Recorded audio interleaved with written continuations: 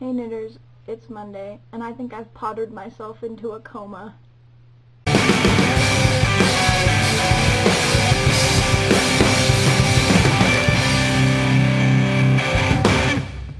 So last week, Harry Potter Week of Awesome was indeed awesome. Um, the midnight showing. Okay, first of all, let me start off by saying I love the movie. Disclaimer, I thought it was great. It's probably one of the best ones so far. I don't quite think it's my favorite. I still love Prisoner of Azkaban. It will always have a special place in my heart. Um, but it was really good.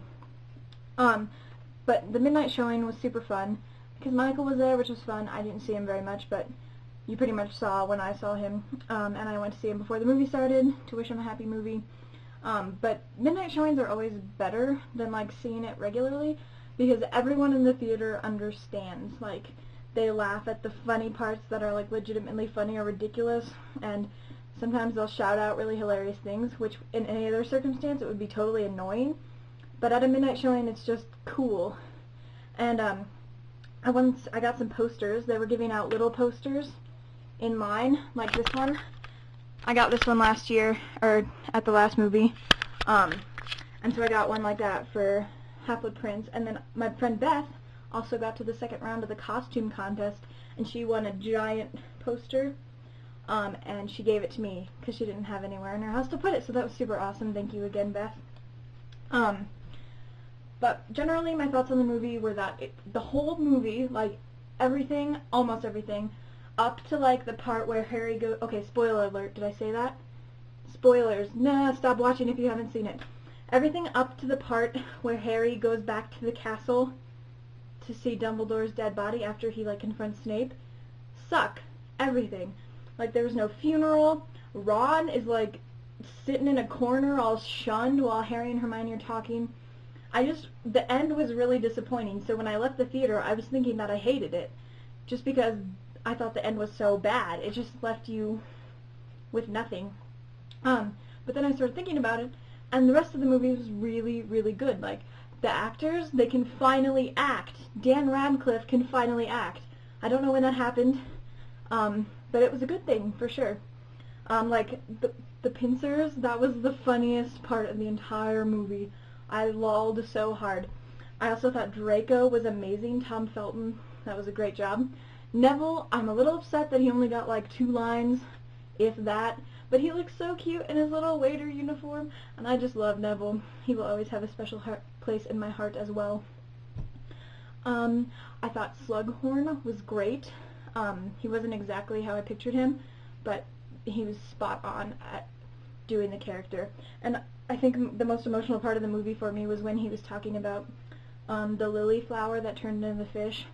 Um, that made me more emotional than Dumbledore's death because in the movies there has been no build-up of the relationship between Dumbledore and Harry. Like they tried to shove it on in this movie, but you didn't get any of that. You didn't really understand the relationship. And so when Dumbledore died, you were just kind of like, oh, that sucks. His principal died. That would be horrible. But you don't, like, feel it. Like, you, we all know how it felt when we read Half-Blood Prince and Dumbledore died. And everyone was just shocked, if you didn't get spoiled, of course. And it just, like, it was hurtful. Like, you really cared about Dumbledore. But in the movie, I don't think um, that really came across as much. But like I said, I thought it was a great movie. Ron's love potion scenes, and just Ron in general. I love Ron, and I thought Rupert outdid himself this time. And Weasley's Wizard Wheezes was so cool. And really, there's just so many parts of the movie that I liked um, that it's hard to mention them all until the end. So yeah, I'm going to stop talking about the movie now because I've been rambling a long time, and I have to talk about knitting and stuff. So yeah. Um, I knit this this week.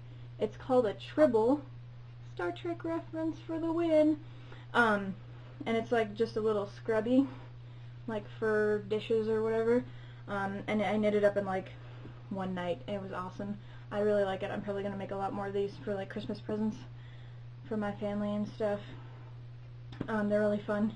The pattern is on Ravelry for free if you would like to knit your own tribble. Um, I'm also working on that shrug, which I forgot to bring up again, so you guys can't see it. Um, but I've messed up a couple times, but I don't really care.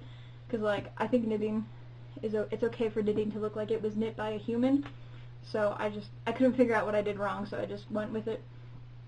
Um, also, I was at this like living history site that we have in town here yesterday and I bought a drop spindle and some wool roving. So I'm going to try spinning. I think my drop spindle does not have all the parts that it needs to have, which is unfortunate. Um, but yeah, I'm going to try spinning and then hopefully I will dye what I make with Kool-Aid or something fun like that.